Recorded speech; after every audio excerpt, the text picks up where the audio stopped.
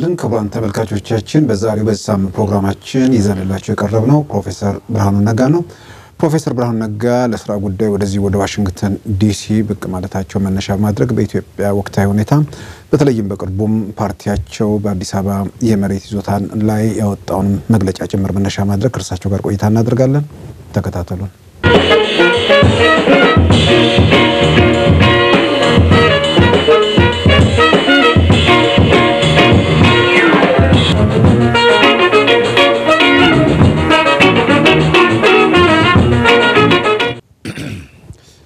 አመሰግናለሁ ፕሮፌሰር ብርሃኑ ነጋ የኢዜማ መሪ። ያው ወደዚህ ወደ ዋሽንግተን ዲሲ ብቅ ማለቶን መነሻ ማድረግ ከእርሶ ጋር ቆይታ የምናደርገው እንግዲህ ያው ቀደም ሲል በመግቢያ የጠቀስኩት ነገር አለ።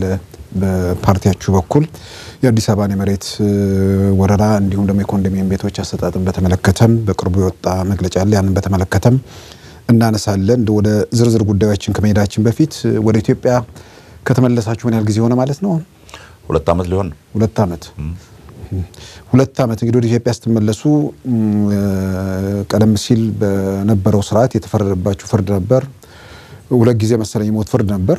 ያው በመንግስት በኩል በይፋ ተሽሯል፣ እሱ ይታወቃል።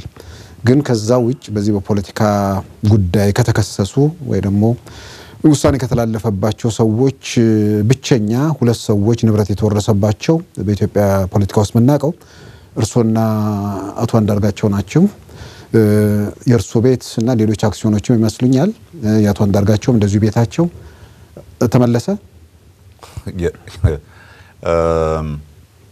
የአንዳርጋቸው በተወሰነ ደረጃ እድለኛ ነበር። ቤቱን በጨረታ ሲሸጡ የገዙት ሰዎች የሚያውቁት እና በተወሰነ ደረጃም ትክክል ነው ብለው የማያምኑ ሰዎች ስለነበሩ ለራሳቸው ይዞ ለመቆየት ሳይሆን እንደ ሁኔታዎች ሲቀየሩ መልሰን እንሰጠዋለን በሚል ሀሳብ ይመስለኛል እንትን ያደረጉት። ከመጣን በኋላ ያንዳርጋቸው ቤት መልሰውለታል። መንግስትም የሸጠበትን ዋጋ ሰዎቹ የኔ እስካሁን አልተመለሰም። ተሽጧል። አዎ ያኔ ተሽጧል። ሴም አካባቢ ነው የተሸጡት። ግለሰብ ነው የገዛው። አልመለሰም። መንግስት ለመመለስ እንደሚፈልግ እንትን ሰጥቶ ነበር፣ ግን ተግባራዊ ለማድረግ ችግር አለ መሰለኝ። የሁለት ዓመት ሆኖታል እስካሁን እንግዲህ አይ እንግዲህ ለውጡ ከመጣ በኋላ ያው በተለያየ መንገድ ለለውጥ እንቅስቃሴ በመደረጉ ነው ንብረቶቹ የተወረሱት። ያው የዘረፈው ወይ ደግሞ ሙስና የፈጸመ አካል ሳይሆን የመብት ትግል ሲያደርግ የነበረ በረሃ የገባችሁ ሰዎች የተወረሰ ንብረት ነው እና ያንን በተመለከተ መንግስት okay ለመመለስ ፈቃደኝነቱ ቢገለጽም ወደ ተግባር ለመመለስ ይህን ያህል ጊዜ ደግሞ መውሰዱ አስገራሚ ነው የሚሆነው። ምናልባት እንግዲህ ዝርዝር ነገሩን ከመንግስት ጋር የምትጨርሱት ይመስለኛል። አዎ ተወሰነ ደረጃ ሙከራ ያደረጉ የመንግስት አካሎች ነበሩ። ግን I think አንዴ በፍርድ ቤት ደረጃ የተገዛ ስለሆነ እሱን ወደኋላ ለመመለስ ትንሽ ችግር የገጠመ ይመስለኛል። እንግዲህ ይህንን ለማድረግ ገዥውም መፍቀድ አለበት፣ ፍላጎት ማሳየት አለበት ይህን ለማድረግ ያ ውይይት ግን የሚካሄደው በመንግስትና በገዢው መካከል ነው እንጂ ከኔ ጋር አይደለም። የገዛው ሰው ይቅርታ፣ ወደ እንትኑ የገዛው ሰው የእርሶ እንደዚህ በትግል ላይ ያለ ሰው ንብረት መሆኑን አውቆ የገዛ ሰው ነው? አዎ የኔ መሆኑንማ ያውቃል። እዛው የኔ መሬት ያለበት ቦታ ሌላ ቤት አለው። ለመኖሪያም አይደለም ለመሰለኝ የገዛው ለኢንቨስትመንት ብሎ ሊሆን ይችላል but intention ኑን የሚያውቀው እሱ ነው። አንዱ ከእንትኑ ይወጣናል እንጂ በዚሁ ላይ በስፋት ልንሄድበት እንችል ነበር። በጣም ነው አመሰግነው ፕሮፌሰር ብርሃኑ። እንግዲህ ከኢትዮጵያ ነው የመጡት። ባለፉት ሁለት ዓመታት ኢትዮጵያ ውስጥ የለውጥ እንቅስቃሴ ይደረጋል፣ ወጣ ገባ የሚል ነገርም ይታያል። ስለዚህ አሁን ደግሞ አዲስ ሁኔታ ውስጥ ነው ያለ ነው። በተለይ ከሀጫሉ ህልፈት በኋላ ከፍተኛ የፖለቲካ እንትን የነበረበት ነው እና አሁን ኢትዮጵያ የት ላይ ነው ያለችው? እንደው ከዛ ወደ ኋላም ወደፊት ሄደን ልንመለከት እንችላለን። እኔ በኢትዮጵያ ላይ ለመጀመሪያ ጊዜ ዴሞክራሲያዊ ስርዓት ለመፍጠር የሚደረገው ትግል እንደው ከጊዜ አንጻር ስታየው በጣም ከባዱ ጊዜ ላይ ነው። በዓለምም ደረጃ ያለው ዴሞክራሲያዊ ስርዓትን ለመገዳደር የሚደረጉ እንቅስቃሴዎች በስፋት ያሉበት በዴሞክራሲያዊ ስርዓት ምንነትና እንትን ላይ ጽሁፍ የሚያወጡ ሰዎችም የዴሞክራሲ deficit ያለበት or ዴሞክራሲ ወደኋላ የሸሸበት ጊዜ በሚባለው ጊዜ ነው ይሄ ነገር የመጣው። የ social media ዘመን ነው። በ social media ዘመን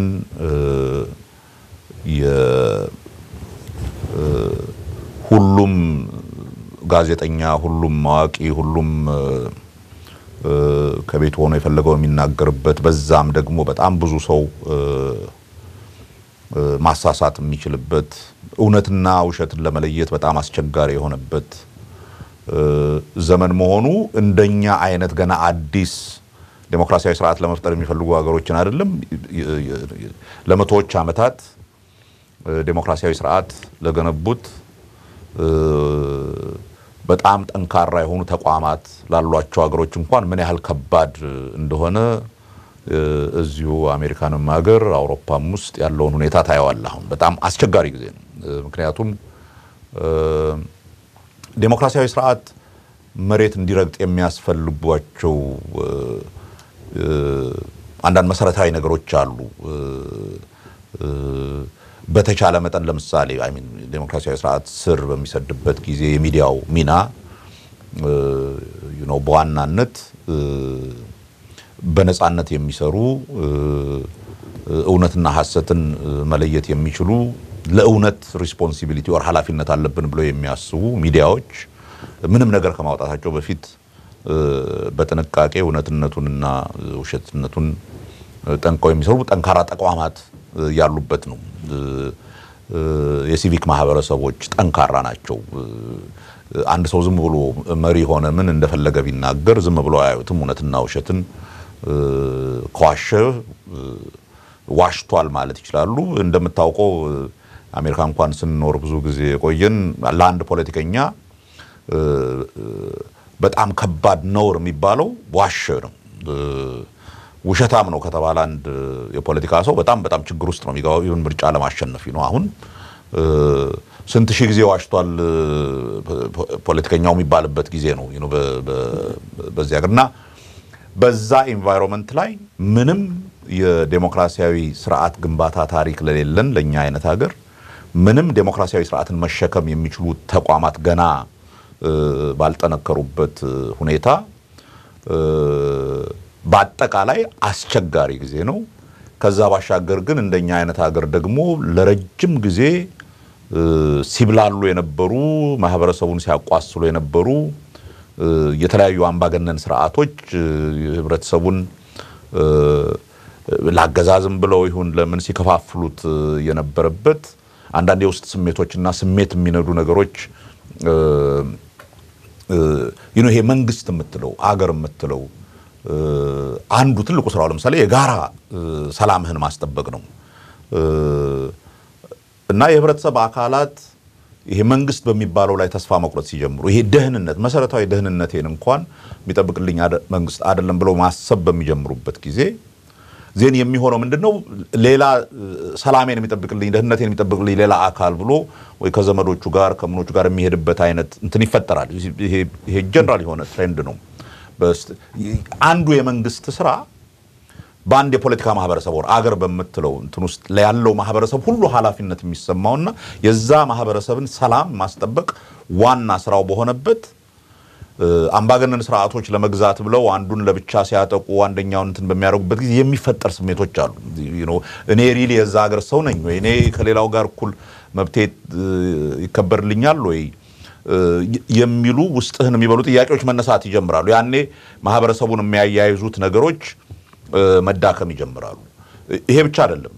አምባገነን ስርዓቶች አንዱ የተካኑበትና የሚሰሩበት ነገር ማህበረሰቡን ከመከፋፈል ባሻገር የማህበረሰቡን የሞራል መሰረት ማድቀቅ የሚገዙት በውሸት ነው። ዜርፎር እውነትና ውሸትን እስኪለይ መለየት እስኪያቅተው ድረስ ህብረተሰቡን በሐሰት እና በፕሮፓጋንዳ በምን እንትን ሲያደርጉት ነው የሚውሉት። መልካም አስተዳደር የሚለዩበት እንትን አይደለም። በሙስና የተጨማለቁ ናቸው። የመንግስት ስልጣንን ለግል ወይም ለተወሰነ የኛ ነው ለሚሉት በፖለቲካ ድጋፍ ሊሆን ይችላል። ባለፉት 27 ዓመትም ከብሔር እንትን ጋር በተያያዘ ሊሆን ይችላል። whatever it እንደነኛ ነገር የሚያደርጓቸው ነገሮች አንድን ማህበረሰብ አንድ የጋራ ማህበረሰብ ነኝ ብሎ እንዲያምን የሚያደርጉትና የሚያያይዘው ሙጫ እየተላቀቀ እየተላቀቀ የሚሄድበት ሁኔታ ይፈጠራልና በሀገራችን ቅድም ካልኩ ይሄ ከ social media በአጠቃላይ ከዴሞክራሲ ዴፊሲት በዓለም ላይ ያለው ምናምን ጋር ጨምረህ እንዲህ አይነት ደግሞ ስርዓቶች ላለፉት አምሳ ዓመታት እንትን ሲያደርጉን የቆዩ ናቸው። ከዛም በፊት ዴሞክራሲ ማለት ምን እንደሆነ፣ በነፃነት መናገር ማለት ምን እንደሆነ፣ በነፃነት መናገር ጋር አብሮ የሚሄደው ኃላፊነት፣ ለእውነት ያለህ ወገንተኛነት፣ ውሸትን መጠየፍ፣ የሰውን ክብር መንካት ፖለቲካ እንዳልሆነ እንትን የምትልበት በዴሞክራሲያዊ ስርዓቶች ውስጥ እንደ ባህል በህግ የምታስቀምጣቸው ብቻ ሳይሆን ኖርምስ የሚሆኑ ባህል የሚሆኑ ነገሮች የመንግስት ስልጣንን የሚገድቡ ተቋሞች እንደ ሲቪክ ማህበረሰብ ምናምን የሌሉበት አገር ወደዛ ስትሄድ በዛሬ አይነት ዓለም ምን ያህል አስቸጋሪ ሊሆን እንደሚችል መገመት መገመት ትችላለህ። መጀመሪያ ሁል ጊዜ ስለ ኢትዮጵያ ወዴት እየሄደች ነው ኢትዮጵያ የሚለውን ነገር ስንመልስ ይሄንን ስርዓት ልንፈጥር የምንችልበት ድባብ ምንድን ነው? ምን አይነት መሰረት ላይ ቆመን ነው ይሄንን ስርዓት ለመፍጠር የምንፈልገው or እየሞከርን ያለ ነው የሚለውን ማሰብ ጥሩ ነው። አንዳንድ ጊዜ የወያኔ ስርዓት ወደቀ፣ በነጋታው ሁሉ ነገር አልጋ ባልጋ ሆኖ ሙስና ጠፍቶ ውሸት ቆሞ ፕሮፓጋንዳ ቆሞ ሁሉም ተከባብሮና በምክንያታዊነት የሚነጋገርበት አይነት ነገር የሚፈጠር ይመስለናል። ያ አይሆንም፣ በጣም ጊዜ ይወስዳል። ወደዛ ከመሄዳችን በፊት ግን ያው የተፈጠሩት ነገሮች እንዲህ አይነት ክፍተቶች ፈጠሩ። ያንን ክፍተት ለመሙላት ጊዜ ይወስዳል። ዓለም አቀፉም ሀገር አቀፉም ሁኔታ የሚል ነገር ተነስቷል። ግን ዛሬ ላይ ያለፍንበት ከትላንት ይልቅ እየመጣን ያለንበት ልክ አሁን ለውጡ ሲጀምር ትልቅ ተስፋ ነበር። በኋላ መንገጫገጭ ውስጥ ገባ። መንገጫገጩ የዚህ የዘር የብሔር የምናምን የብሔር የሃይማኖት እያለ የቀጠለበት ሁኔታ አለ እና አሁን ደግሞ ከፍተኛ የሚባል በተለይ ካጫሉ ህልፈት በኋላ የተከተለ ነገር አለና ኢትዮጵያ እንደ ሀገር ወደፊት ትሄዳለች ወይስ የሚል አደገኛ ሁኔታ ውስጥ ነው እንግዲህ ና እስቲ ሁለቱን ዓመት ስንገመግም ኖ ለሱ ነው ለዛ ብዬ ነው። መጀመሪያ እንደው አጠቃላይ environment ኡን ስዕሉን እንያዘው። በጣም ጥሩ በሚባል እንኳን ሁኔታ ዴሞክራሲያዊ ስርዓት መመስረት ኢትዮጵያ ውስጥ ትልቅ ስራ ነው። ይህንን እኮ achieve ማድረግ ማለት ለብዙ decades የኢትዮጵያውያን የታገሉበትን ስርዓት ተግባራዊ ማድረግ ነው። ከባድ መሆኑን ካወቅን በኋላ so እንዴት ነው የሄድ ነው ያለፈው ሁለት ዓመት የሄድንበት ሂደት ምን ይመስላል የሚለውን ሳይ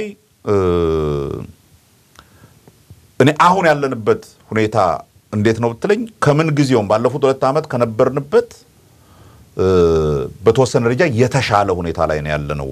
ወደዛ ወደ ተረጋጋ ዴሞክራሲያዊ ስርዓት ለመሄድ የምናደርገው እንትን በጣም ብዙ ውጣ ውረዶችን በጣም ብዙ ችግሮችን አልፎ እነኚህ ችግሮች ደግሞ ጠፍተዋል እያልኩ አይደለም፣ ግን እነኛ ችግሮች በጣም እየቀነሱ ልነግርህ ነው ለምን እንደዛ እንደምል ለምን ያ ነው የምለው ቅድም እንዳልኩ ነው። ዴሞክራሲያዊ ስርዓት በአንድ ሰው ላይ ዲፔንድ የሚያደርግ ስርዓት አይደለም። ዴሞክራሲያዊ ስርዓት በመሰረቱ በተቋሞች ላይ ነው የሚቆመው። ጠንካራ ተቋማት መገንባት ዴሞክራሲያዊ ስርዓት ለመፍጠር በጣም ወሳኙ ነገር ነው። ላለፉት አንድ ዓመት ተኩል ሁለት ዓመት ብዙዎቹ እነኚህ ተቋማት ገና ሪፎርም እየተደረጉ ነው እየተባለ ይሁን እንጂ ገና እንደው ስር የሰደደ እንትን እየያዙ አልነበረም። አሁን ትንሽ ማየት ጀምረናል። ለምሳሌ ከሀገር አንድነትና ከሰላም ጋር በተያያዘ ያሉትን ተቋሞች ብታይ ለምሳሌ መከላከያ፣ ፌዴራል ፖሊስ ምናምን የምትላቸው እነኚህ ከዚህ በፊት ይሄ በየክልሉ ያሉ ከዘር ጋር የተገናኙ ሚሊሻዎችና ልዩ ኃይሎች ምናምን በነበሩበት እነኚህ ኃይሎች ፌዴራሊዝም እንደምታውቀው ጠንካራ የሆነ ማዕከላዊ መንግስት ይፈልጋል። ያለዛ አይሰራም። እነኛ በየክልሉ ያሉ ኃይሎች ይህንን ማዕከላዊ መንግስት የበለጠ እንዲያዳክሙ ሆኖ ነው የተሰሩት። በነገራችን ላይ በህገ መንግስቱ እንኳን የለም አሁን ልዩ ኃይል የሚባል ነገር በዘር ላይ የተመሰረተ I think ህወሓቶች ሆን ብለው ነው ያንን እንትን ያደረጉ እና እነኚህ ኃይሎች በየክልሉ ጉልበተኞቹ እነሱ ናቸው። በየክልሉ የፈለጉትን የሚያደርጉ ናቸው። በየክልሉ ይሄንን ሲያደርጉ ኃላፊነት የሚሰማቸው ለአጠቃላይ ለአገሩ ሳይሆን እዛ ላሉበት ክልል ነው። እነኛ ክልሎች ደግሞ የተቋቋሙት በዘር ወይም በብሔር ነው። ያ ሁኔታ ነው ያለውና ያንን ለመቀየር የፌዴራል መከላከያን ውስጡን ማጽዳት እና ከዚህ ከብሔርና ከእንትን በተወሰነ ደረጃ ማላቀቅ ይጠይቅ ነበር። እንደምታውቀው በአብዛኛው በህወሓት የጦር እንትኖች ቁጥጥር ስር የነበረ ነው። እሱን አላቀህ በተወሰነ ደረጃ ኢትዮጵያን የሚመስል responsibility ውና ኃላፊነቱም ኢትዮጵያ ለምትባለው አገር የሆነ ተቋም መገንባት እንደዚህ በአንድ ቀን እፍ ስላልከው የሚመጣ አይደለም። ጊዜ የሚወስድ ስራ ነው። የፌዴራል ፖሊስ እንደዚሁ የፌዴራል ፖሊስ መንግስትን የሚቃወም እንትን እየሄደ መቀጥቀጥና ማጥፋት ነው እንጂ አገሩ ላይ ሰላም የመፍጠር responsibility ኃላፊነት አለብኝ የሚል እንደ ተቋም ተጠናክሮ ይሄድ አልነበርም። so በእነኚህ ጊዜዎች ላይ ይሄ እነኚህ ተቋሞች ሰላም ለማስጠበቅ የሚችሉት ተቋሞች ገና ባልተጠናከሩበት ሁኔታ ሁሉም በየአካባቢው በየእንትኑ የፈለገውን የሚያደርግበት የፈለገው የሚፈነጭበት አይነት ሁኔታ ነበር። በዛ ሁኔታ ደግሞ ሰላም የሚባል ነገር ሊኖር አይችልም። ዋይ ሰላም እና የሀገር መረጋጋት መሰረቱ ጠንካራ የሆነ የፌዴራል ሰላም አስከባሪ ተቋማት ናቸው። so አሁን አንዱ እዛ ላይ ለውጥ ማየት ጀመርን። መከላከያና ፌዴራል ላይ? በተወሰነ ደረጃ የሀገር responsibility የሚል ነገር መምጣት ጀመረ። ኃላፊነቱ at least እኔ አሁን አንዱ ያየሁት የፌዴራል ፖሊስ doctrine አዲስ doctrine ባወጡ ጊዜ ለውይይት ጠርተውን ነበረ የተቃዋሚ ፖለቲካ ፓርቲዎችንም።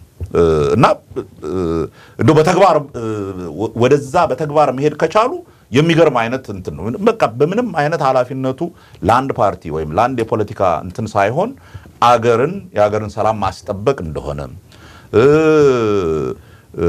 problem እንኳን analyze ያደረገበት እንትን እነኚህ በየክልሉ ያሉ እነኚህ ኃይሎች ምን ያህል ለአገር ሰላም ችግር ሊፈጥሩ እንደሚችሉ ጠንካራ የሆነ የፌዴራል የፖሊስ ተቋም እንደሚያስፈልግ እና doctrine ኑ ይሄ አዲስ የሚያወጡት doctrine ፓርላማ ቀርቦ ገና አልጸደቀም ይመስለኛል። ያኔ ባወያዩን ጊዜ ያየ ነው። ይሄ ተግባራዊ ሊሆን የሚችል ከሆነ እንደነኛ አይነት ተቋማዊ ለውጦች እየተደረጉ ከሆነ okay I think ወደ ደህና መንገድ እንሄዳለን እና እስከ ዛሬ ድረስ አየህ እስከ ዛሬ ድረስ ተቋማቱን አሁን የጸጥታ ተቋማቱን የፌዴራል መከላከያና ፌዴራል ፖሊስን በተመለከተ አሁን የ doctrine ጉዳይ ነው ያነሱት። ከዛ ውጭ ውስጡን የማስተካከል ስራዎች እየተሰሩ ነው የሚል ነው። ግን በተግባር ሀገራዊ የሀገሪቱን ሕልውና የኢትዮጵያን አንድነት የህብረተሰቡ የጋራ መብት ለማስከበር በዛ ደረጃ የሚታዩ ስራዎችስ አይሉ ወይ ነው? እሱን ነው የምልህ። አየህ በቃ አሁን በቅርብ እንግዲህ በፊት የነበረው አቅምም አልነበረም ነው። እኔ የመፈለግ ያለመፈለግ ብቻ አይመስለኝም። በዛን ጊዜ ለምሳሌ ግጭቶች ሲፈጠሩ ለምንድን ነው ቶሎ እንትን የማይደረገው ምናምን ሲባል ያ ሁላችንም ያንገበግበናል። ወገኖቻችን እየሞቱ ነው እና ለምንድን ነው ሲባል ሁሌ ለፖለቲካ የሚመቸው ስላልፈለጉ ነው or እንደዚህ ስላ በእኔ እምነት ግን በተወሰነ ደረጃ capacity ውም አቅሙም በደንብ አልነበረም። coherence ኡም የእነኚህ ተቋማት የውስጥ coherence mission ኣቸው ላይ ያላቸው understanding ላይ ግልጽ አልነበረም። አሁን ያየ ነው። በተለይ አሁን ይሄ በመጨረሻ የመጣው actually የመጨረሻውን part ነው እንጂ ምናምን በደንብ ካየህ ከዛም ቀደም ብሎ ነው you know ሁለት ሶስት ወር አራት ወር በፊት ይሄ በየአካባቢ ያሉ irregular የሆኑ ኃይሎች ይሄ በየክልሉ ያሉ ዝም ብሎ formally ምን እንደሆኑ እንኳን ማታውቃቸው ፋኖ፣ ቄሮ ምናምን እየተባሉ ያሉ እና በየክልሉ በተወሰነ ደረጃ እንደፈለጉ ሊያደርጉ ማድረግ እንችላለን የሚሉ ኃይሎችን ከዚህ ከኦነግ ጋር በተያያዘ ከሸኔ ጋር direct የሆነ ግጭት ውስጥ ገብተው ነበር። ማስቆም ጀምረው ነበር። በየአካባቢው እነኝን ነገሮች ማስተካከል ጀምረው ነበር እና በተወሰነ ደረጃ መረጋጋት ተፈጥሮ ነበር። በፊት you know አንድ ዓመት በፊት እኮ የትም ክልል ሄደህ ስብሰባ ለማድረግ እንኳን አትችልም። የዛ ክልል የዘር እንትን ካልሆንክ or በዘር ላይ የተመሰረትክ ፓርቲ ካልሆንክ። ይሄንን ደግሞ የሚያደርጉት በአንድ በኩል ትዝ ይልህ እንደሆነ ባለፈው ዓመት February ላይ አንድ እንትን አቅርቤ ነበረ።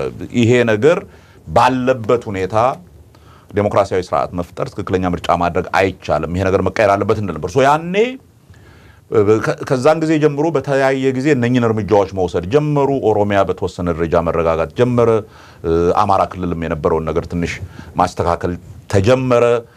ይሄ ባለበት ሁኔታ ነው ያ የመጨረሻው ግጭት የመጣው። I think ያ ግጭት ሲመጣ እኔ በጣም አንዳንድ ጊዜ ሳትጠብቀው በመጥፎ ሁኔታ የመጣ ጥሩ ነገር የምትለው ነገር አለ አይደለም። ይሄ መሆኑ መጥፎ ነው። ቢኮዝ ብዙ ወገኖቻችን በጣም ከፍተኛ ጥቃት ደርሶባቸዋል። ብዙ ወገኖቻችን ሞተዋል፣ ቆስለዋል፣ ንብረታቸው ወድሟል። ያ ነገር ግን ይዞ የመጣው እኔ የተረዳሁት መንግስትም አካባቢ ላሉ ሰዎች ከአሁን በኋላ በዚህ ሁኔታ ሊቀጥል አይችልም። ይሄ ነገር ትሬትን የሚያደርገው የሀገሩን ሰላምና የሀገሩን አንድ መሆን ብቻ ሳይሆን እንደ አገር መቆየቱን ራሱ እንትን የሚያደርግና መንግስትንም የሚበላ እነኝን ተቋማት ሁሉ የሚበላ አይነት አካሄድ እንደሆነ አንሌስ አዘርዋይስ እርምጃ ወስዶ ማስተካከል ካልተቻለ እንደሆነ I think በመንግስት ስልጣን ላይ ላሉትም ሰዎች ግልጽ ያደረገ ይመስለኛል።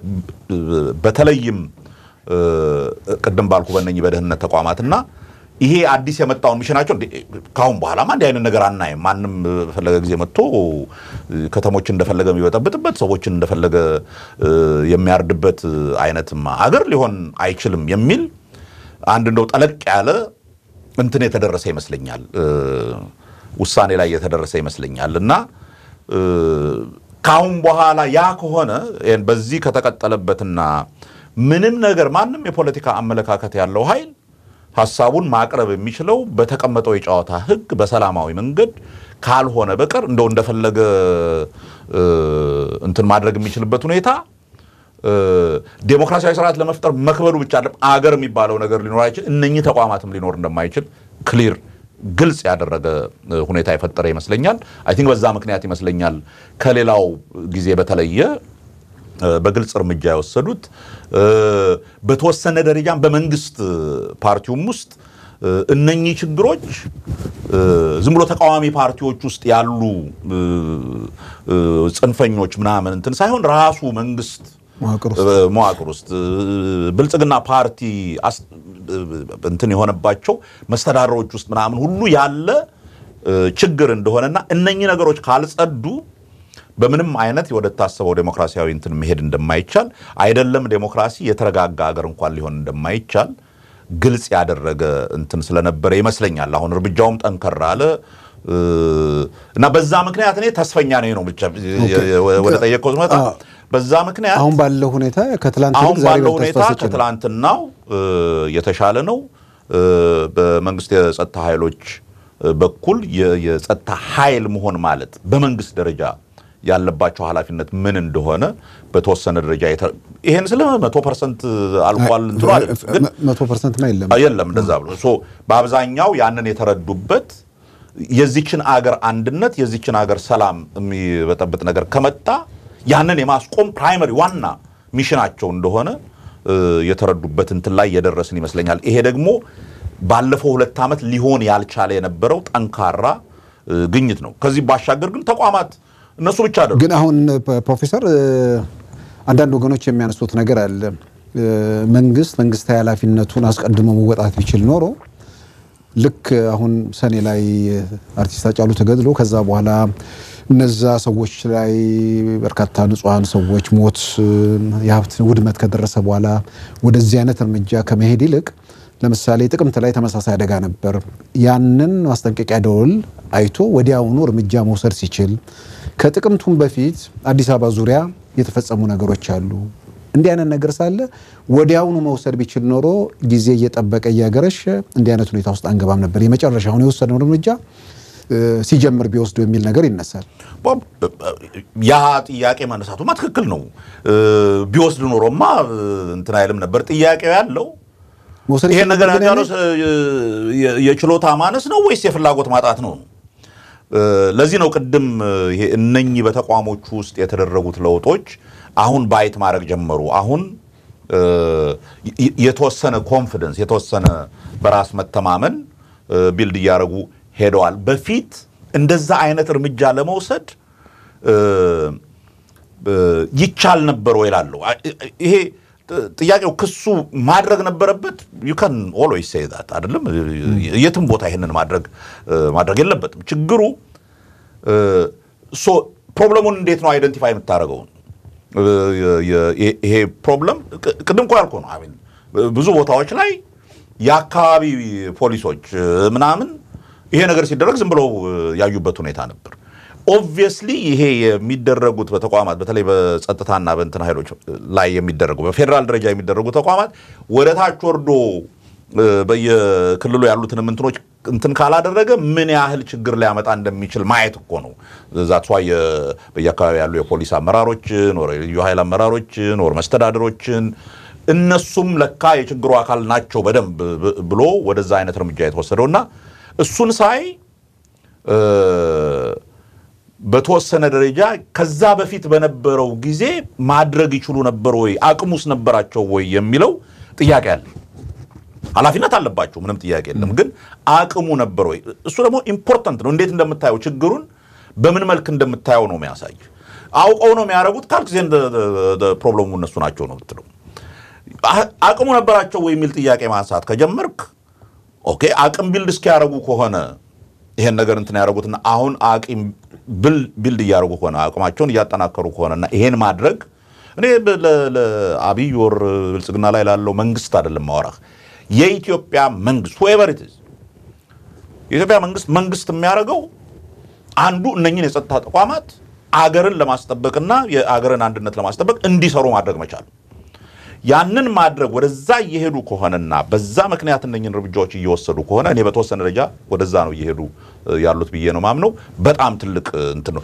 ይቅርታ ልንል እንችላለን ስላለፈው የአቅም ማጣት but ተቋም መገንባት ግን ጨዋታ እንዳልሆነ እናውቃለን። ይህንን ግን ስል በመከላከያና በፌዴራል ፖሊስ ባለው ብቻ አይደለም፣ በተቋማት ደረጃ እያየን ያለ ነው ለውጥ በተወሰነ ደረጃ ጥሩ ለውጥ ነው የምትልባቸው ሌሎችም ተቋማት አሉ። not just that ለምሳሌ ዳኝ ፍርድ ቤት ነው። በፊት ፍርድ ቤት መንግስት እንደፈለገ ስራ አስፈጻሚው እንደፈለገ የሚያደርጋቸው ቦታዎች ነበሩ። በእኛ በራሳችን አባል መታሰር ጊዜ ያየነውና የተከታተልነው ነገር ይሄ ነው። ፖሊስ ገና በደንብ ይሄ የማጣራት ስራውን ምናምን በደንብ ሳይሰራ ክስ መሰረተ። የዳኝነት ስርዓቱን ሆኖ ይህን አትችልም ዋስ or ያ የተከሰሰው ሰው ያቀረብከው እንትን ዋስ የሚከለክል አይደለምና በዋስ ወጥቶ እንትን ይበል፣ አለበለዚያ ንጹህ ሰው ማሰር ለረጅም ጊዜ ያለ በቂ ማስረጃ ጥሩ አይደለም ብሎ ዋስ ይጠይቃል። በፊት እንደተለመደው ወደ ከፍተኛው ደግሞ የፍርድ አካል ይሄድና ይግባኝ ይጠይቃል። እዛም ጋር ሲሄድ ነው ነው ይህን አትችል። ይሄ ለእኔ በጣም significant የሆነ የተቋም development አልቆለታል፣ አብቅቷል ወይ? ገና በጣም ብዙ ግን እንደ ሂደት ካየኸው ፍርድ ቤቶች በሁለት እግራቸው መቆም ሲጀምሩ የሰብአዊ መብት ተቋም እስረኞች በታሰሩ ጊዜ ሄዶ ምንድን ነው የሆናችሁት? ምን ችግር አለ? የአካሄዱ ትክክል ነው ወይ? torture ተደርጋችኋል ወይ? ተገርፋችኋል ወይ? ብሎ መጠየቅና based on that report ማድረግ ሲጀምር የምርጫ ቦርድ የራሱን ኃላፊነት ወስዶ ይሄንን ምርጫ በትክክል ለማድረግ ይሄ ይሄ ይሄ ያስፈልገኛል፣ ይሄ ይሄ ይሄ መሟላት አለበት። በፊት የነበሩ በዚህ በተለያየ ምርጫ በማበላሸት የታወቁ ኃይሎችን ዝም ብዬ ይዤ ልሄድ በራሴ እንደ አዲስ እነኝ እነኝ ነገሮች ስታይ ተስፋ ይኖርሃል። ያ ተስፋ ግን መሰረቱ ሁሉ ነገር አልጋ ባልጋ ይሆናል፣ ሁሉ ነገር እንትን ይሆናል አይደለም። ለዚህ ነው መጀመሪያ ያልኩትን ነገሮች ያልኩህ። ቀላል ጊዜ አይደለም ዴሞክራሲያዊ ስርዓት ለመገንባት። በተወሰነ ደረጃ ትንሽ ትንሽ you know እኔ ብሆን ምንድን ነው ማድረገውም እያልክ አንዳንድ ጊዜ ከራስህም ጋር መነጋገር አለብህ። you know እኔስ እንደዚህ አይነት ነገሮች ዛሬ ስልጣን ይዤ ቢሆን ይህን ሁሉ ነገር እንደው አይ ሚን እንደዛ አድርገህ ስታደርግ ነው ውይይቱ ትንሽ እንግዲህ ኢትዮጵያ ፖለቲካ ውስጥ ምናልባት ያው እንግዲህ ቅድም ያነሱት ነገር አለ ማህበራዊ ሚዲያው ላይ ማንም ሰው ስለ ፖለቲካም ስለምንም ብዙም ግንዛቤም የሌለውም ሰው ብዙ ተከታይ ይዞ ወደ ፈለገው መንገድ ነገሮችን መጠምዘዝም ምናምን ነገር እናያለን። ግን ዞሮ ዞሮ ቅድም የተነሳው ነገር በስፋት የሚነሳ ነገር ነው።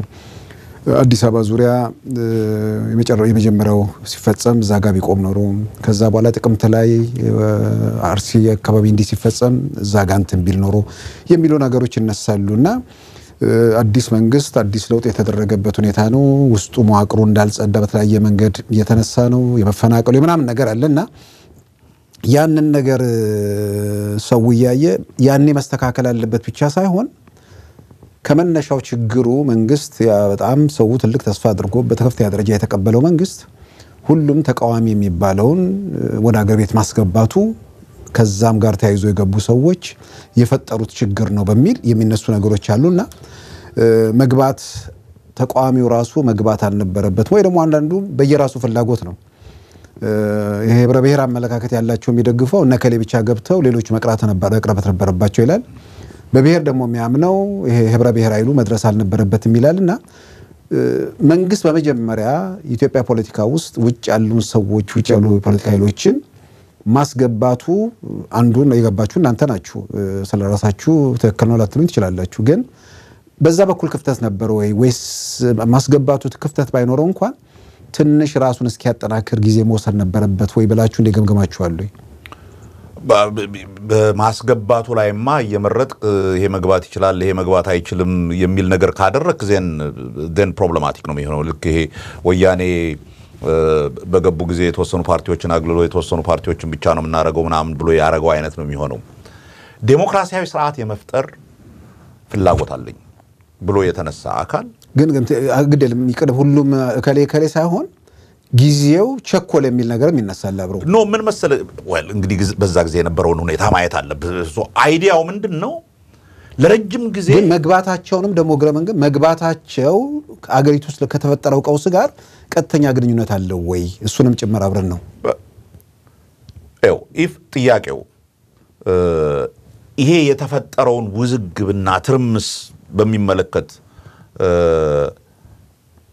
contribute አድርገዋል ወይ ከውጭም ይሁን ወደ ፖለቲካ እንትን ውስጥ የገቡ አካሎች ካልክ ቅድም እኮ ያወራ ነው። ምንም ጥያቄ የለውም። የፖለቲካ ፓርቲዎች አስተዋጽኦ አድርገዋል። በመንግስት ውስጥ ያሉ አካላት አስተዋጽኦ አድርገዋል። ሁሉም አይነት ነው የነበረው አስተዋጽኦ።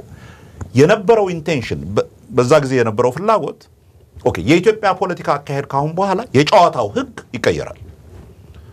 በዚህ ጨዋታ ህግ ማንም አመለካከቱ ምንም ይሁን ምን በሰላማዊ መንገድ ምክንያታዊ በሆነ ክርክር ያለውን ሀሳብ ለህብረተሰብ በነፃነት አቅርቦ ሸጦ ካሸነፈ መብቱ ነው።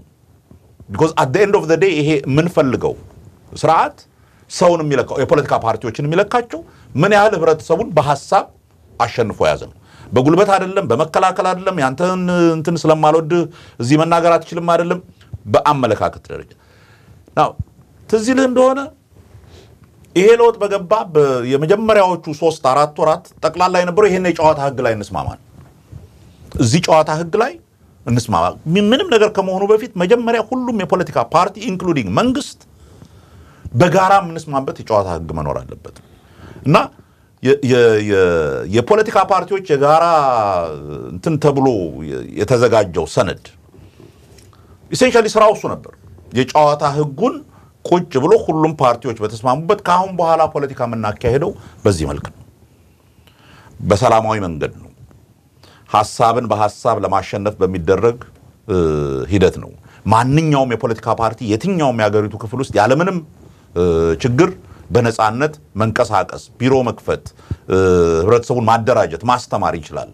ማንም ሊከለክሉ አይችልም። አይደለም ግለሰብ የፖለቲካ ፓርቲዎች፣ መንግስትም ሊከለክሉ አይችልም። መንግስትም ይሄንን እንትኑን ጠብቆ መሄድ አለበት ወዘተርፈ የሚሉ ዝርዝር በደንብ አስታውስ ሀያ ምናምን ገጽ የሚሆን document ተዘጋጅቶ የፖለቲካ ፓርቲዎች ተወያይተውበት ታስታውስ እንደሆን ሂልተን ሆቴል በተደረገ ትልቅ እንትን የጸደቀው ያ ነው። ያ ምንድን ነው የሚያደርገው?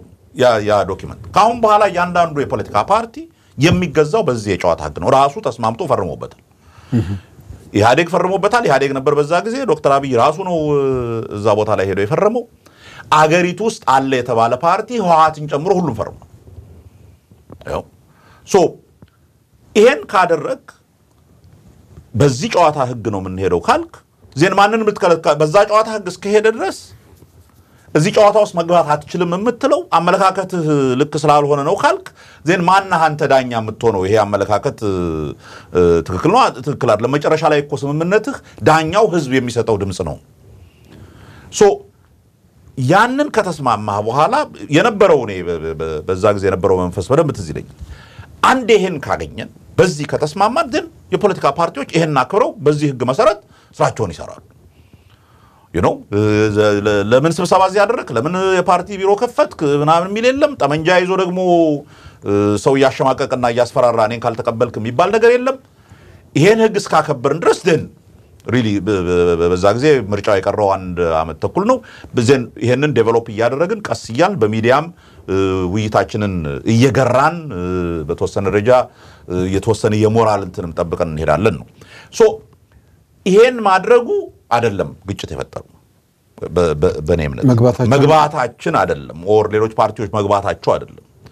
ግጭቱን የፈጠረው የፖለቲካ ፓርቲዎች የጨዋታ ህጉ ምን እንደሆነ የፈረሙት የጨዋታ ህግ ምን እንደሆነ ያውቁት ነበር ወይ? በዛ ጨዋታ ህግ ለመመራት really አምነው ነው ወይ ይህንን ፊርማ የፈረሙት? ወይንስ እንደው ዝም ብሎ በጊዜ እኛ ከዛ በኋላ ሄደን የፈለግነውን እናደርጋለን ነው? እሱ ከሆነ then ይሄ ለውጥ ይዞ መጣ የተባለው ነገር ላይ ግልጽ አይደሉም ማለት ነው።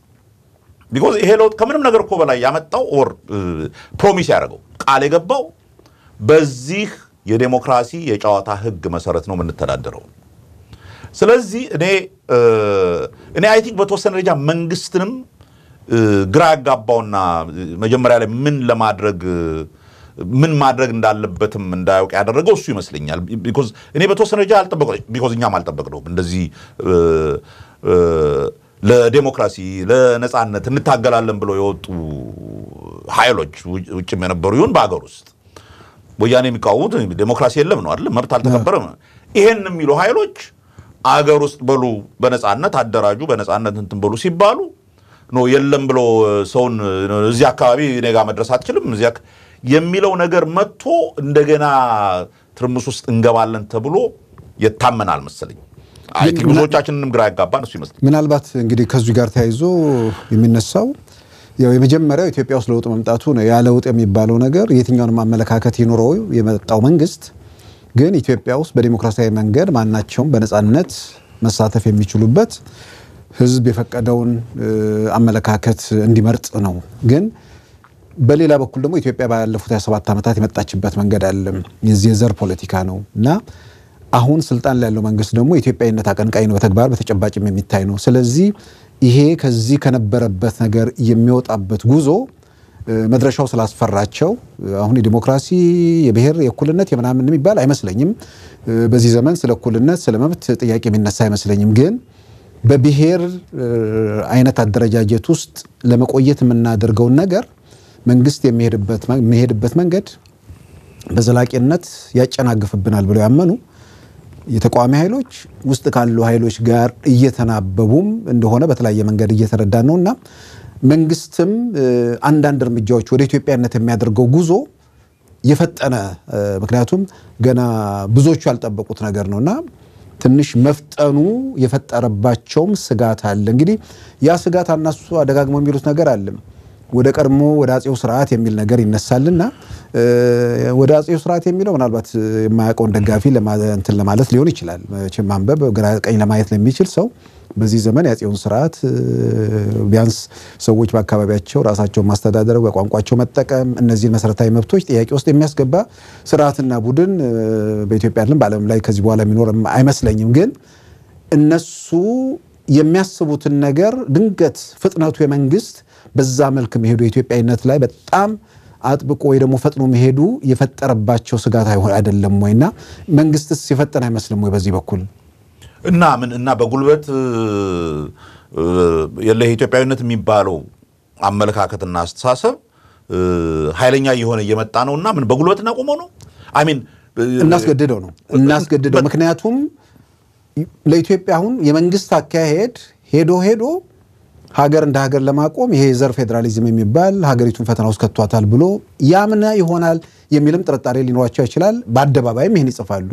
ስለዚህ ይህን መንግስት አስገድደን ትንሽ ከጉዞ ገተነው ወደ ነበረበት ወይ ደግሞ 27 ዓመታት በመጣንበት መንገድ ላይ መቀጠል አለብን የሚል ማስገደጃ ነገር እየተጠቀሙ ነው። በሌላ በኩል ደግሞ ከስልጣን የወረዱትም ሰዎች ጋር አብረው እንደሚሰሩም ያው በተለያየ መንገድ የሚነሳ ነገር አለና የመንግስት ፍጥነት፣ የስልጣን የወረዱ ሰዎች መኖር፣ የዚህ ብሔርተኛው ኃይል ፍላጎት፣ እነዚህ ነገሮች አጠቃላይ የእነሱ ድምር ሂደቱን በማጓታት ረገድ የተጫወተው ሚና መንግስት ወይ መዘግየት ነበረበት፣ አላቅም።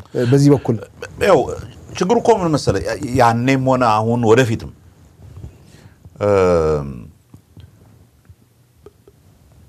የአንድ የፖለቲካ ስርዓት መሰረት ዴሞክራሲያዊ ነው። ዴሞክራሲያዊ ስርዓት መመስረት ነው ስትል automatically የምትለው ምንድን ነው? at end of the በመጨረሻ የመንግስት ስልጣንን የሚይዘው ማን ነው የሚለውን የሚወስነው ህዝብ በምርጫው ነው በብሔር በኩል የበለጠ አስብ፣ አገራዊ የሆነ አመለካከት ይኑርህ፣ ምን ይኑርህ፣ እነኚህ ሀሳቦች በሙሉ ለህብረተሰቡ በሰላምና በነፃነት ቀርበውለት ያ ህብረተሰብ በእነኚህ ጉዳዮች ላይ ከቤተሰቡም ከምኑም ጋር መክሮና የቱ ይሻለኛል የሚለውን አምኖ ይመርጠሃል። አስገድጄ ያደርገዋለሁ ማለት ስትጀምር ችግሩ ከዴሞክራሲ ጋር በቃ የጨዋታ ህጉን ረግጠዋል ማለት የጨዋታ ህጉን ካልተቀበልክ ደን ችግሩ እኔ ብዙዎቹ በተለይ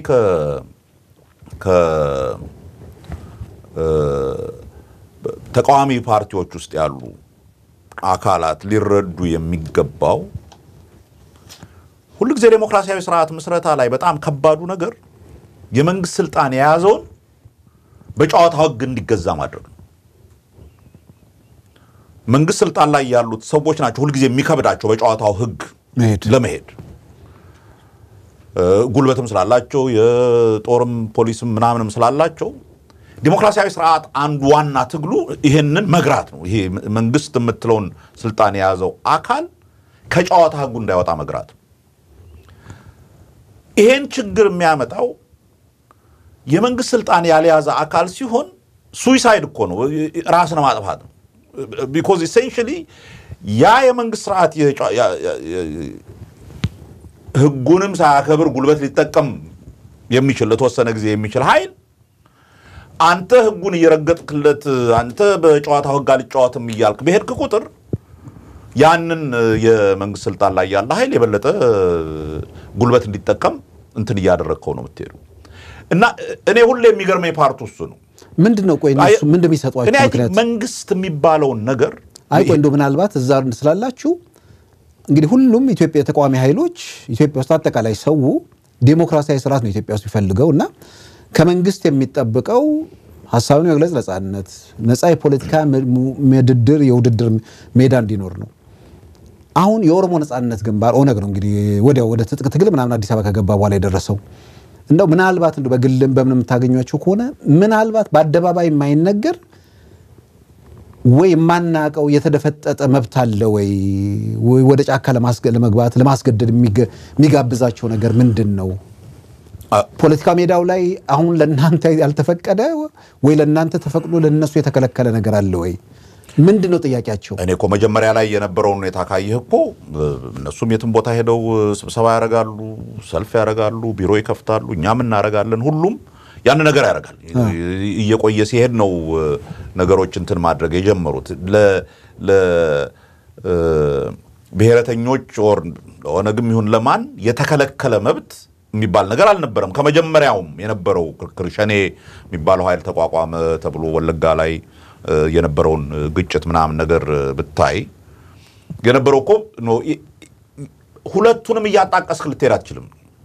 በጉልበት የምትፈልገውን የመጨረሻ ውጤቴ ነው የመጨረሻ ፍላጎቴ ነው የምትለውን ነገር በጉልበት አደርገዋለሁ ማለት ስትጀምር ዜን በአጠቃላይ የፖለቲካ ማህበረሰቡ የሚንቀሳቀስበትን የጨዋታ ህግ አፈረስክ። ያንን ስታደርግ የምታበላሸው በአጠቃላይ ጨዋታ ህጉን ነው። መንግስት ያን ጊዜ ቁጭ ብሎ ሊያይ አይችልም። በተለይ መንግስት በዛ የጨዋታ ህግ እንትን የሚያደርግ ከሆነ that የተቃዋሚ ፓርቲዎች ስራ መንግስት ይህን የጨዋታ ህግ እንዲያስከብር ራሱም ግን እንዲያከብረው የሚሆነው ሁል ጊዜ ዛት ዋይ ሁል ጊዜ ትግሉ የመንግስት ስልጣን ከያዘው ጋር የሚሆነው ለዛ ነው። የኢትዮጵያን strange የሚያደርገው በተወሰነ ደረጃ የተለየ የሚያደርገው የጨዋታ ህግ መፍረስ የጀመረውና መበጥበጥ ይሄ በጉልበት or በምንፈልገው ነገር እናገኛለን ይሄ የመጨረሻ የመጨረሻ የሚሉትን objective ኣቸውን የመጨረሻ ፍላጎታቸውን በዛ መልክ እናደርገዋለን ማለት የተጀመረው ከመንግስት እንትን ውጭ ያሉት ኃይሎች ማድረግ ሲጀምሩት ነው። you እኛ በየቦታው ሄደን አሁን ስብሰባ ስንከለከል or ሲረብሹን ምናምን it's not የመንግስት ኃይሎች አልነበረም የሚከለክሉን። ብጥበጣውን የሚያደርጉት ተቃዋሚ ፖለቲካ ድርጅቶች ነን የሚሉት ግን ከማን ጋር ተቆራኝተው ነው? መንግስት መዋቅር ውስጥ ካሉት ሰዎች ጋር ከክልል ልዩ ኃይል ምናምን ከምትለው ጋር so ያ ነው ነገሩን በሙሉ strange የሚያደርገው። በምን ጨዋታ ህግ ነው ታዲያ እንትን ምለው የሚለውን ነገር ጥያቄ ውስጥ የሚያስገባው ይሄ ነው እና እኔ I think ምናልባት በመንግስትም ውስጥ ያሉ ሰዎች ግራ እስኪ መንግስት ስልጣን ላይ ሁንና ራስህን ቁጭ ብለህ ይኸው እስኪ ምንድን ማድረገው እንዴ ይሄ ነው ህጉ፣ የጨዋታ ህጉ በዚህ ነው ብለህ ተፈራርመህ ተስማምተህ በዚህ ነው ከአሁን በኋላ የምንነቃነቀው ካልክ በኋላ ያን የጨዋታ ህግ ረግጠህ ጉልበት መጠቀም ስትጀምር then መንግስት ቁጭ ብሎ ሊያይህ ነው ወይንስ? because ህግ የማስከበርና የጨዋታ ህጉን እንትን የማድረግ እኮ primary responsibility ሆነ የመንግስት። ዲፕሎማቲክ ማህበረሰቡ ምን ይላል? ምክንያቱም እንግዲህ በተለያየ መንገድ የኢትዮጵያንም ጉዳይ በቅርብ ለመከታተልም በኤምባሲዎች በምናምን ጥረት ይደረጋልና በግልም በጋራም ሊያገኟችሁ ይችላሉ። በዚህን ወቅት እንግዲህ ምንድን ነው ኢትዮጵያ ውስጥ ባለው ነገር ለምሳሌ ኦነግ መሳሪያ ያነሳ በመንግስት በኩል ደግሞ ያንን ለመከላከል ወይ ደግሞ ለማስቆም እየሄደ ያለበት ነገር አለ እና ሜዳው ስላልተመቻቸ ነው ወይስ እነሱ እንዴት ነው የሚገነዘቡት? አሁን ችግሩን በእርሶ በኩል አንስተውታል፣ ግን ዓለም አቀፉ ማህበረሰብም የሚረዳው ኦነግ መሳሪያ ያነሳው መሳሪያ ሊያስነሳው የሚያስገድድ ሁኔታ በሌለበት ሁኔታ ውስጥ ነው ብሎ ያምናል ዓለም አቀፉ ማህበረሰብ። የዓለም አቀፉ ማህበረሰብ ምንድን ነው የሚያስበው በዚህ ሁኔታ ላይ አላውቅም። ችግሩ ምን መሰለህ እኮ ጥቁርና ነጭ አይደለም ነገሩ። እንደ ሴንታት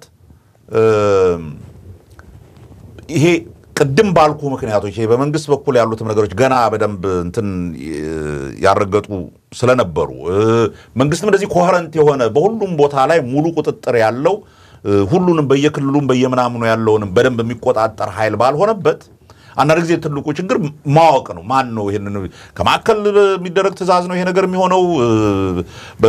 በየወረዳውና በየዞኑ ያለው መስተዳደር በራሱ ነው እየሄደበት ያለው? ይሄ በጣም እኛም ውስጥ ብዙ ክርክር የተደረገበት ነው። because you don't know በአንድ በኩል እነኚህ በክልል ደረጃ ያሉ በዞን ደረጃ ምናምን ያሉ እንትኖች ከእንዲህ አይነት ሊበጠብጥ ከሚሞክሩ ኃይሎች ጋርም እነሱም ራሳቸው የዛ አካል ሆነው ታገኛቸዋል። ገብተዋል። ክሊን የሆነ የተቃዋሚው እንትን ብቻ አይደለም፣ የተደባለቀ ነው። መንግስት መዋቅርም ውስጥ ያሉ ሰዎች አሉ። እነሱም በተወሰነ ደረጃ እያዩም ዝም ማለት ወይም አብረውም እንትን ማድረግ በእኛ አንዳንድ ቦታ የተረበሸበት ቦታ የክልል ፖሊስ ላንድሮች ረባሾቹን የሚያመጣበት ሁሉ ነበር የምናየ ነበረው። እንደዛ አይነት ስለሆነ ለቀላል ፍረጃ አይመችም። እንዲህ ነው መንግስት ነው ተቃዋሚዎች ብቻ ናቸው አይደለም፣ የተደባለቀ ነበር። ለዚህ ነው ባለፈው ፌብሩዋሪ ላይ ባደረግኩት እንትን ይሄ አደጋ አለ። በአንድ በኩል ተቃዋሚ ነን የሚሉ ኃይሎች ውስጥ ይሄንን የተስማማንባቸውን የጨዋታ ህጎች ወይም ዴሞክራሲያዊ ስርዓት እንዲሰራ የሚያስፈልጉትን የጨዋታ ህጎች የመጣስና ያለማክበር እነሱ የሚፈልጉትን የመጨረሻ ውጤት በህዝብ ፍላጎት ማግኘት እንዳለባቸው ባለማወቅ በማስፈራራትና እንትን በማድረግ ለማግኘት የመሞከር ነገር አለ። በሌላ በኩል በመንግስት መዋቅር ውስጥ ያሉ አካላት ይህን ነገር እየተባበሯቸው ሲሆን እናያለን። ይሄ ነገር ከቀጠለ በአጠቃላይ ዴሞክራሲያዊ ስርዓት ለመፍጠር የምናደርገውን ሂደት ክፉኛ ይጎዳዋል። ሶ እነኚህ ነገሮች ናቸው እንግዲህ ተብሰልስለው ተብሰልስለው ተብሰልስለው መጥተው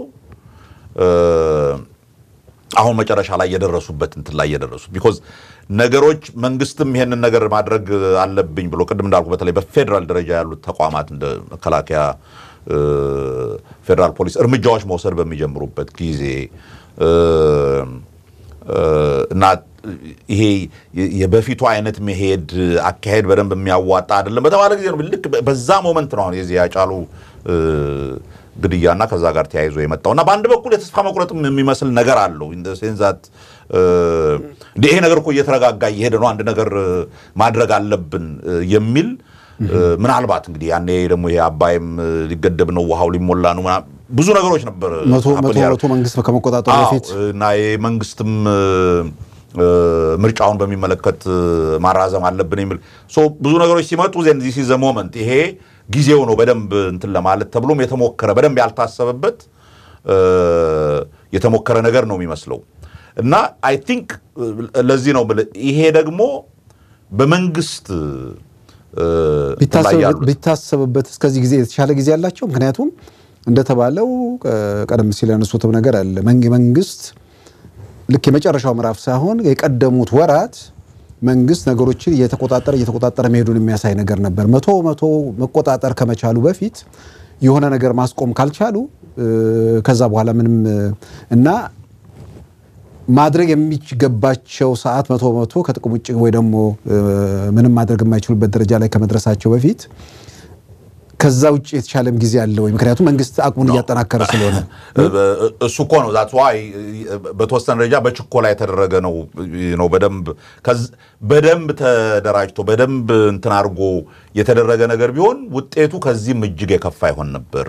I think በተወሰነ ደረጃ የመቻኮል ነገር ነበር በእነኛ ኃይሎች መካከል። ይሄ ነገር እየመጣ ከሆነ ትንሽ ተረጋግቶ በተለይ ወደ ምርጫማ ምናምን ከሄደ አየህ fundamentally logic ኡ ይቀየራል። አሁን ምርጫ ካደረግክና እንደው ምርጫው reasonably የህዝብ ፍላጎት መገለጫ ከሆነ እኮ then በጣም አስቸጋሪ እኮ ነው የሚሆነው።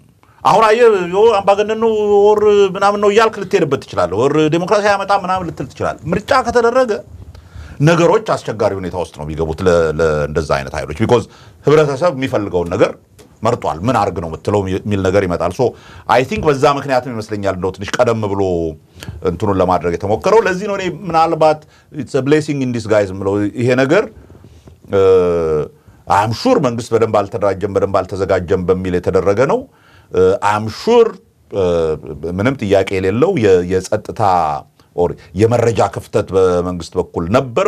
because በእለቱ ላይ እንደዛ በፍጥነት የተደረገውን እንቅስቃሴ ስታይ ግን at same time ከማወክ ባሻገር ትልቅ ነገር ሊሰራ የሚችል አይነት እንቅስቃሴ አልነበርም። so በተወሰነ ደረጃ በቶሎ መቆጣጠር የተቻለው ለዛ ነው። ለዚህም ነው ትንሽ ተስፋ ወደ ጀመርንበት topic ትንሽ ተስፋ የሚሰማህ ከአሁን በኋላ እንደዛ አይነት ነገር ለማድረግ ያለው እድል በጣም በጣም ክፉኛ ጠቧል ብዬ አምናለሁ።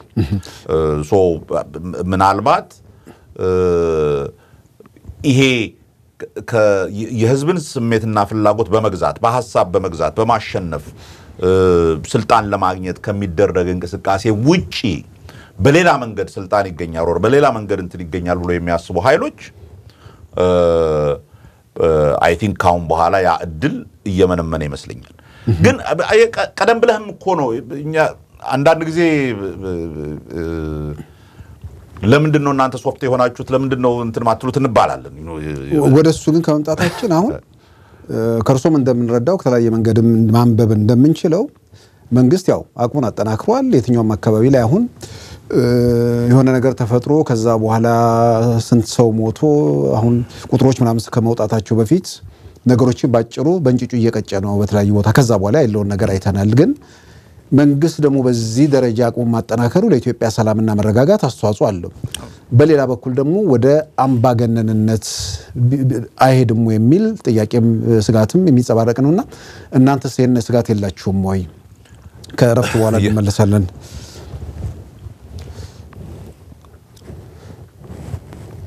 ክቡራን ተመልካቾቻችን ከፕሮፌሰር ብርሃኑ ነጋ ጋር የጀመርነው ውይይት አልተጠናቀቀም።